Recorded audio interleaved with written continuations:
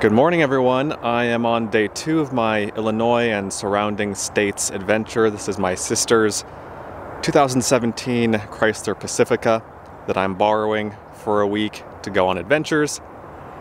I'm standing in front of this mound right here. This is not natural. This is man-made. This is the largest Native American earthwork north of Mexico.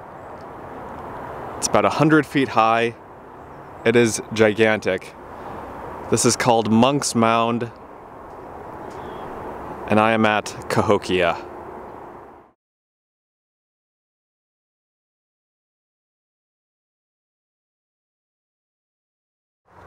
Native Americans built mounds like this across the eastern US, but this is home to the largest of them.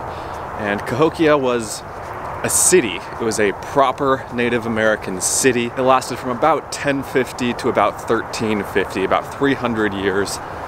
And at the peak, there were hundreds and hundreds of mounds here. I think at least a few hundred mounds. I think there are several dozen still extant, but this one is called Monk's Mound, and it is the largest of the mounds. And from walking along the path here, I can see a bunch of other mounds all of these are man-made. These are all Native American mounds.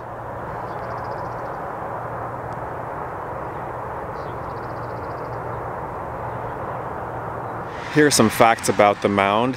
It covers 14 acres, it's 100 feet tall, contains 22 million cubic feet of earth. There used to be a building on top of the terrace that was 48 by 104 feet, and construction lasted between 950 and 1250. This is what Monk's Mound would have looked like back in the day. There would have been buildings on the different terraces with, with ramps or stairs leading up the different terraces up to the next one. And then on top would have been this just gigantic building here. And that building on top would have been home to the religious and political leader of the area of Cahokia.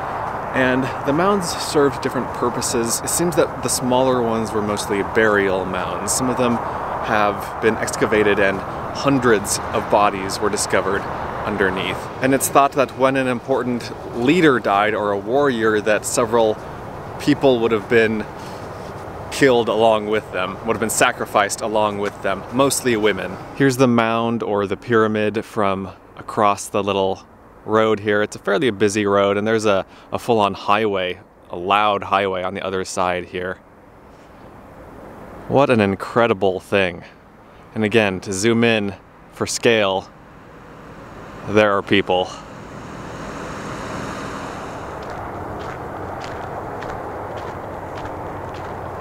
And this is called Monk's Mound, by the way, because in the early 1800s, Trappist monks lived on top of a nearby mound, a nearby hill, and they had planted crops and, and fruit trees on the terraces of Monk's Mound here. And then here's looking out at the area from the top of the stairs leading up the mound here. Again, lots of mounds in the area that you can see. And then this over here is St. Louis.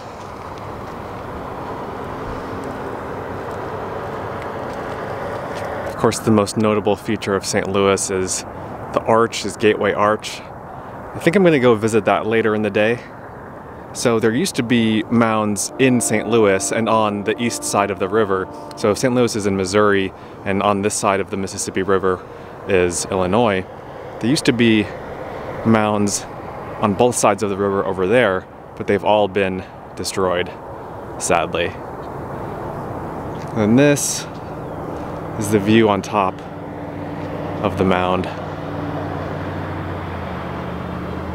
So in front, I believe it's in this direction, there used to be a gigantic plaza, a huge, huge plaza. And that plaza was the size of 35 football fields, about 1,600 feet by 900 feet. Again, imagine that basically 50 foot by 100 foot building up here Imagine looking out over hundreds of other mounds in the area. It's just amazing. It seems like there's some confusion and misunderstanding as far as what the largest pyramid in North America is. I know that the Great Pyramid of Cholula in Mexico is huge. I think that's the biggest one. And then the Pyramid of the Sun in Teotihuacan is up there. Uh, I've been to that one. I've been to Teotihuacan in Mexico. It's incredible. Probably one of the most spectacular things I've seen on my travels. And then this one has been called the largest in North America, the largest in the United States. Uh, I don't think it is the largest in America. It might depend on how you define it, like maybe by volume. Maybe they're talking about just packed earth pyramids and not stone pyramids or stone covered pyramids. I don't know, but however you slice it, it's huge and it's really impressive.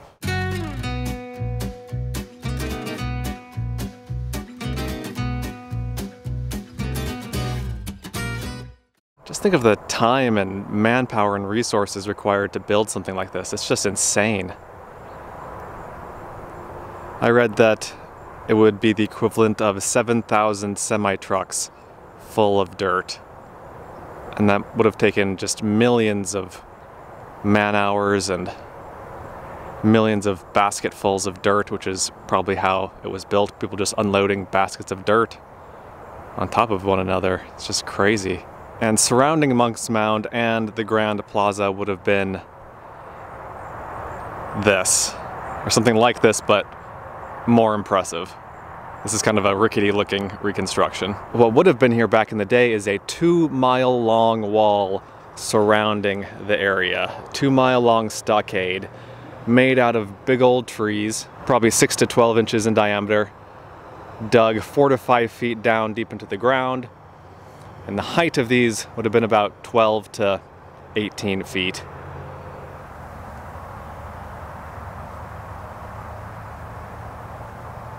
And so the core of Cahokia would have been a heavily fortified, walled city. There would have been towers or bastions spaced out at intervals along the wall. Several sources I read said that this is considered the only Native American city, like proper city that the Native Americans ever had. At its peak in around 1100, 1200 time frame, it was bigger than London at the time. So the population here at the peak was between 20 and 30,000. So that little piece of reconstructed wall is where I just was. There's another section of reconstructed wall right here. This one is partially mudded over or plastered over and it's thought that the original wall would have been plastered over like this too. You can see the kind of the towers sticking out from the wall. Of course, the Native Americans didn't leave written records, and so a lot of what we know or think we know about this place is, is a mixture of archaeological work and guesswork, just kind of putting together the pieces and, and coming up with the, the best logical explanation for things. But even so, it's not entirely clear how or why this place was founded, was started, or how it ended. As far as why it was founded, it seems like Cahokia was a planned city. There used to be a, a, smaller village on the same site here that archaeologists call Old Cahokia. This is New Cahokia. Old Cahokia was systematically dismantled. It wasn't destroyed by like fire or war. It was dismantled and then this was built on top of it, systematically and with a plan, kind of in one stretch. And so the thought behind that is that maybe there was a new religion that was being created and that New Cahokia was built here in honor of that religion as part of that new religion. And then as to why Cahokia declined, again, there are various theories and we're not entirely sure if any one of them is the single reason. It could have been a combination of various things. Things like internal strife, external warfare, climate change, like maybe it started raining too much or there was a drought, which would have messed up the farming in the area on which the people who lived here would have relied on because uh, a place like this with, you know, 20,000 people isn't self-sustaining in a small geographical area. You need people outside of the city farming and making things for the people people that would have lived here. And so if something happened out there where all the farms are or whatever, then obviously that would have had a, a big major effect on on the city here. Of course, I'm not a historian, I'm not an archaeologist. If you want to learn more about Cahokia, there are a few different resources that I would recommend. First of all, just read the Wikipedia page. Second of all, there is a 40 four minute or 45 minute long YouTube video from the History Channel on YouTube. It's a documentary with Leonard Nimoy narrating, and it's, uh, it's a quick and pretty easy watch or listen. And then third, there's this book called Cahokia, Ancient America's Great City on the Mississippi. Uh, this is a small book, it's about 170 pages. Uh, again, easy to read, it's, it's well written, it's engaging, it's not like a dry academic text. It's written for a general audience, and so if you are interested in learning more about this place, I highly recommend this book also. I'll put a link to it in the video description, along with links to the Wikipedia page and the, the, the Leonard Nimoy narrated History Channel documentary. And then when this place was abandoned, which again could have been for various reasons, it's unclear exactly where the inhabitants all went. It's probable that they didn't all go as one great body somewhere. It's most likely that they split up and uh, each went off in different directions, possibly in the places where they had originally come from or where their ancestors had come from. But there is, for example, no one modern tribe that you can look at or point to and say, okay, they are the descendants of the Cahokians.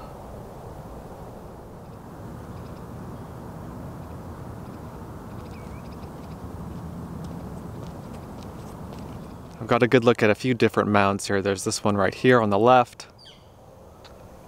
this one right here on the right, and then Monk's Mound back in the distance, partially visible. And then behind me here is what's called a borrow pit. This is a pretty large one. Can't really tell, can't really see it very well, but this is a big pit where earth was taken to build the mounds.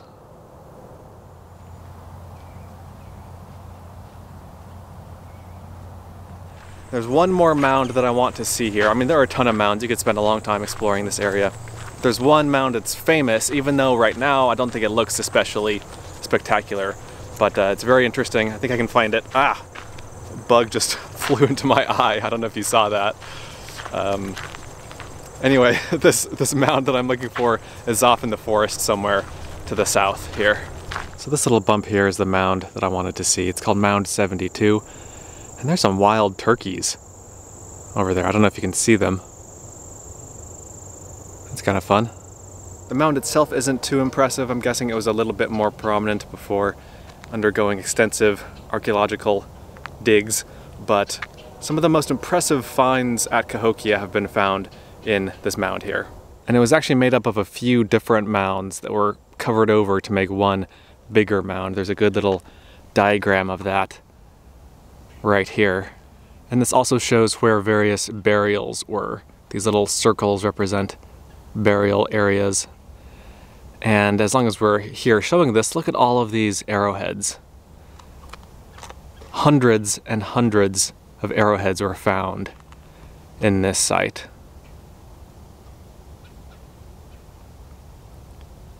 In fact, it was a cache of arrowheads, and along with that cache of arrowheads was a cache of 36,000 beads made from shells. Here's another cache of arrowheads that was found. Here's yet another cache of arrowheads that was found. And then here is a cache of chunky stones. So these are circular rocks that have been kind of hollowed out on each side there. And so that was for a game called Chunky. And so one person would take the, the that stone, the chunky stone, roll it, kind of like a bowling ball, and then people would throw sticks, kind of like spears or javelins, trying to, to land with their points next to where the chunky stone landed. It was apparently a really popular game and it lasted for hundreds of years. Even after Cahokia disappeared, chunky was still a uh, popular game among Native Americans. It was observed by early European travelers in the area. The diagrams on this sign here show what various burials would have looked like. So here's one burial with 39 bodies in it. This is an interesting one. Four men decapitated and without their hands, buried next to 53 young women. Then probably the most famous one is this, this Birdman burial. So there's this platform covered in, in marine shell beads in the shape of a bird. You can see the little bird head right there. And then this man was buried on top of the bird-shaped platform with a couple other people around him. He's thought to be uh, one of the leaders of Cahokia.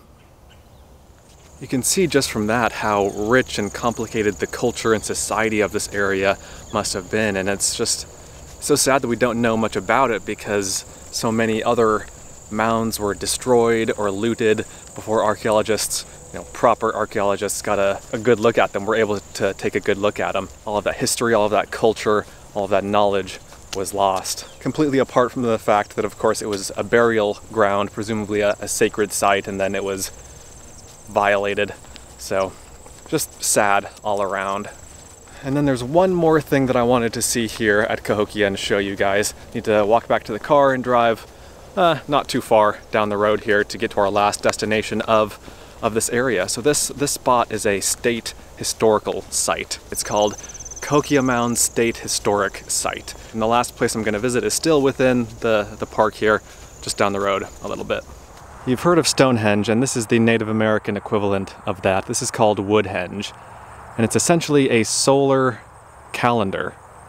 There are a few dozen of these large poles arranged in a circle, a large circle, and there is a central pole in the middle right there.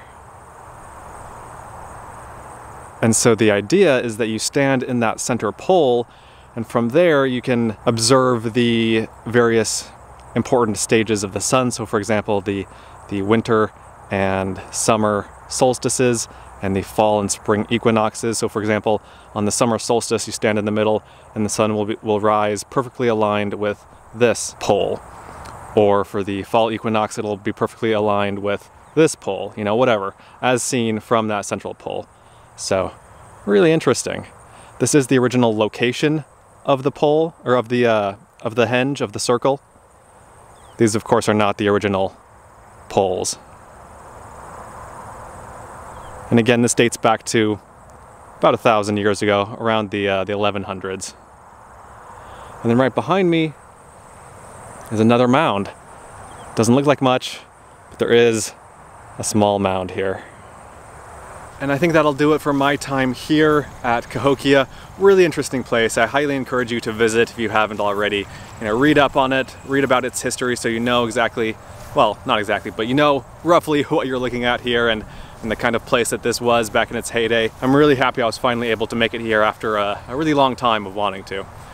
I'm gonna leave here now and head into St. Louis, or at least towards St. Louis. I'm gonna go see some other interesting things today. I think actually though, the first thing I'm gonna do is not all that interesting. I'm gonna go to Walmart and uh, pick up some supplies. All right, and here is the final result, final Walmart haul. Got some snacks on the left side there and then just a few accessories that I've been missing on this trip. I wanted a spray bottle that I can fill with water, makes brushing my teeth easier. A couple of automotive towels. These are really absorbent towels because this morning when I woke up there was a lot of condensation on the windshield and I used paper towels, but these would be better.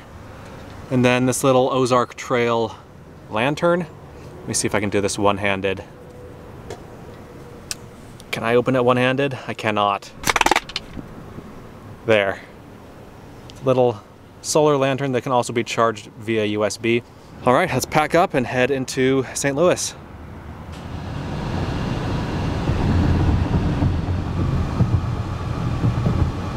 Right, I'm now in downtown St. Louis. I parked in this parking garage right here. The arch is somewhere over this way. I think I'm gonna rent a scooter and ride over there. Okay, this is a Bird scooter. I've got the Bird app on here. Let's see, which one is this? Okay, I think I'm ready to go.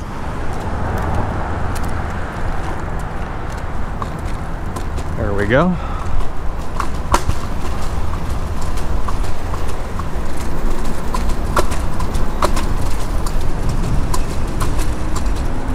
Yeah, there we go. What a beautiful thing. Wait, wait, to cross the ford at Walmart. That is so cool. I have been to, well, I have been through St. Louis before. I remember seeing the arch when I was a kid. On a family road trip, we drove through or past St. Louis and I remember seeing it. But man, in person, that is so cool. In person and up close, I mean, obviously. That is amazing.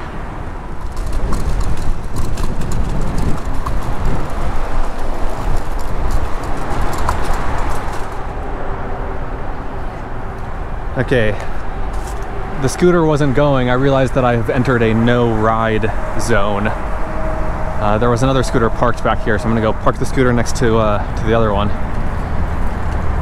I know there are areas like schools and airports and skate parks where you're not allowed to ride these scooters, like they're they're geo-fenced, so you can't drive them, you can't park them in those places. And I guess this is also one of those places, probably because I, I think it's in the National Park Service. I think it's a national park unit of some kind, so I guess that makes sense.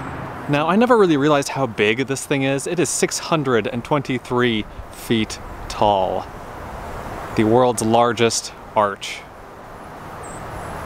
St. Louis has been nicknamed the Gateway of the West, or Gateway to the West, and so that's why it's called Gateway Arch. Uh, Lewis and Clark started off their journey here from St. Louis back in the day. And before that, it was a French outpost, a French trading outpost. And so a lot of history here in St. Louis regarding the, the westward expansion of the United States. And this arch is just, it's a sight to see. To give you an idea of the size of this thing, the scale of it, here are some people just remarkable. What a thing. What a beautiful, weird, wonderful thing. It was built in the 60s, took about two and a half years to build from 1963 to 1965. So not that old. I thought it, it was older than that, but relatively new. And here it is in all of its glory from the back. My lens isn't wide enough to get the entire thing in. And then on this side, behind me, is the Mississippi River. Looks like you can drive right down here. I didn't realize that. You can drive right behind the, the arch, right along the water here. That's really neat. That, of course, behind me on the other side of the river is Illinois, and I am in Missouri. Let's go stand right underneath the thing now, right underneath the arch. You know, I think this might be the single coolest, I want to say man-made thing that I've seen in the US. I think this is just so amazing. It's definitely the best, I don't know, monument that I've seen. Okay, I'm directly underneath it. I'm guessing that's the observation area. You can ride up into the arch I'm sure that taking the elevator up, riding up into it is, is great and worth doing. I don't want to take the time to do it today. I saw online that tickets are really hard to come by anyway because of COVID. Uh, they have reduced numbers of, ooh, this ground is very swampy and, and mushy here. It's hard to get tickets anyway, so I'm just not gonna not gonna worry about it. It'll give me a good reason to come back to St. Louis. And speaking of St. Louis, let me show you the, the skyline here. Some of it is obscured by those trees there, but we've still got a, a good look at it here.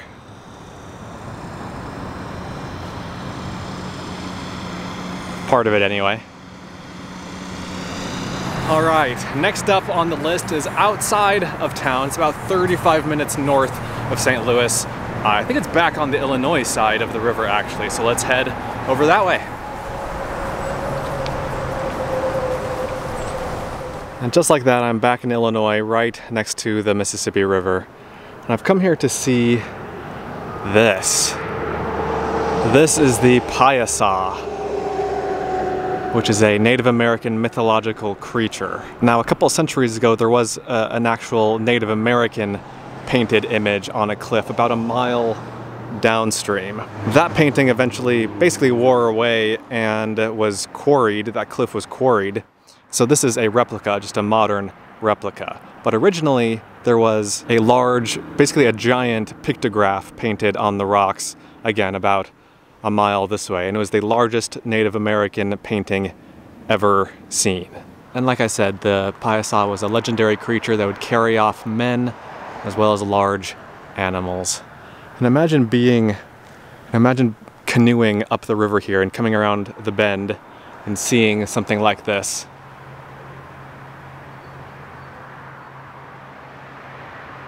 An early European traveler who came through the area in 1673, Father Jacques Marquette, said that the monsters were so well painted that we cannot believe that any savage is their author, for good painters in France would find it difficult to reach that place conveniently to paint them. And this is uh, think this is a sketch of what they saw.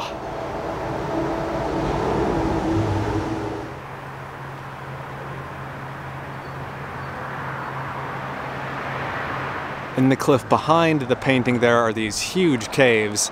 These are not natural caves, these are quarry caves from limestone quarries here from uh, I think the early 1900s. And it looks like there's a trail that leads back into the caves, so let's go take a closer look. This is wild. I mean the the height of the caves here from the floor to ceiling is probably a good 30 or 40 feet.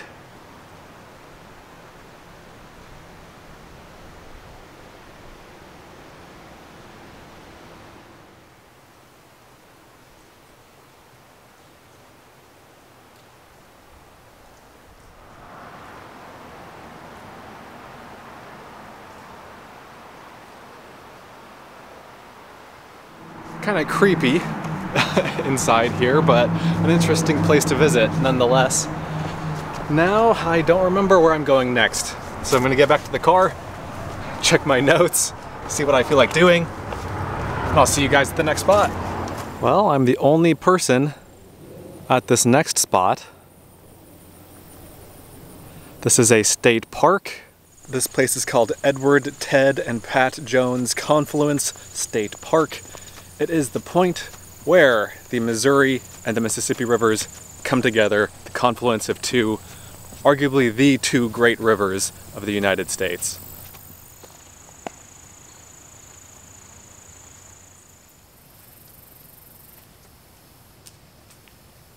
And here we have it. A quick little five minute easy walk down the path has led us to the point, to the confluence itself. This is the Mississippi River. This is the Missouri River. And this point right here, right there, right in the middle, that's where they meet.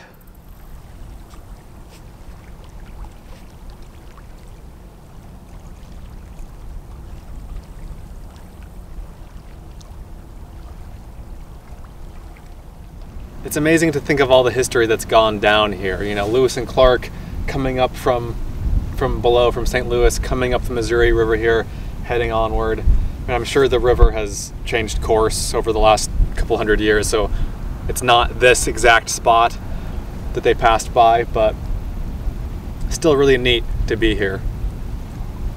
And it's it's kind of fun for me to to be at this spot where the Missouri River ends, basically, because I live about 60 or 70 miles as the crow flies from the start of the Missouri River. It's on the side of a mountain that's on the border between Montana and Idaho. I've driven past it a bunch of times. If you've been to West Yellowstone, you've been pretty close to it. The source itself is a little spring on the side of the mountain. I've never been up there, I've never been to that spring, but the stream that comes down from this spring is called Hell Roaring Creek, and I've actually fished that creek before. So it's kind of fun.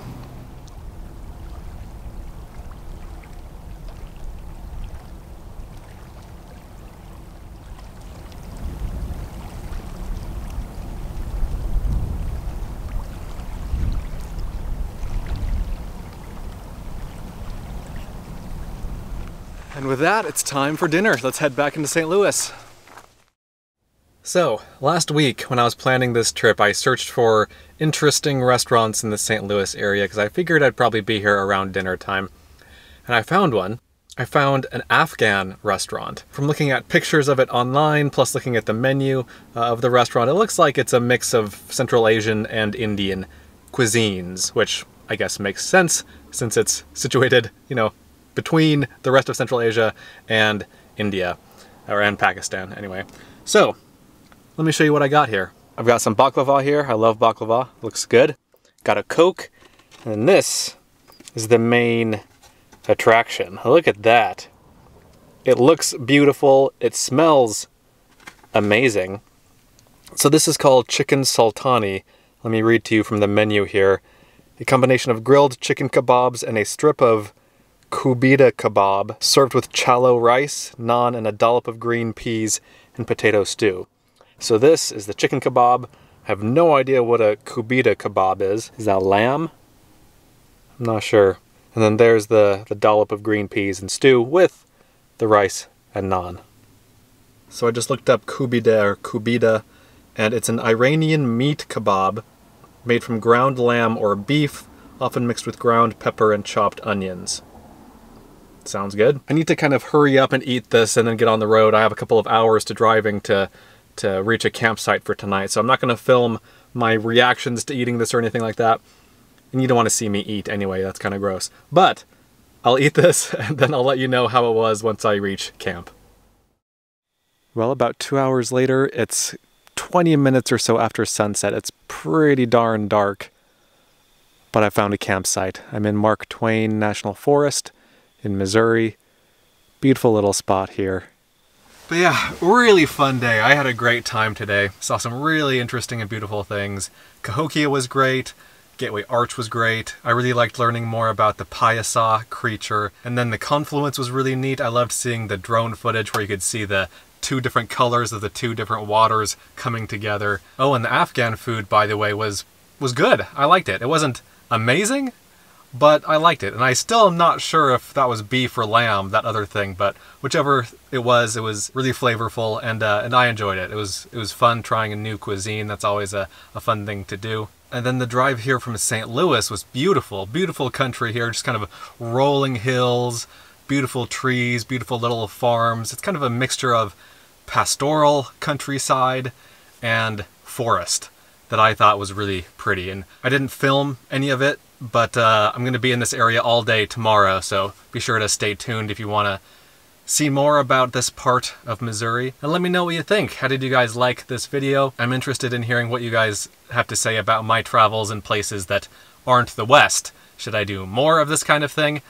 Let me know if I should. Uh, hit the like button on this video. That's always appreciated, and that's a good way for me to know if a video really resonates with you guys or not. So Thanks for watching. Let me know what your favorite part was, and I'll see you guys in the next one. Be sure to check out Adventure Know-How, my new site, where you can gain access to a map of all of my free campsites, plus monthly bonus videos that you won't find anywhere else. Learn more at adventureknowhow.com. And for links to everything else SUV RVing related, visit suvrving.com. Links to these sites and more will be in the video description.